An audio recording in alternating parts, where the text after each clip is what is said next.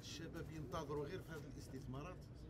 شجعوا كل الاستثمارات. وقفنا ثاني مع السيد الوالي على مدى تقدم الأشغال على مستوى آه، منطقة التوسع السياحي اللي هنا للجوار اللي راح آه، فيها 12 hectares تحت آه، تحتضن خمس مرافق أو ست مرافق سياحيه على مستوى هذه منطقه التوسع السياحي. لكن هذا يجب من طرف الدولة أنه آه، بإذن الله راح نقوموا بخبرة على مستوى ال CTC على الملحقة لدار الصناعه التقليديه نشوفوا هي مرفق يعني مرفق تاريخي ومرفق رائع.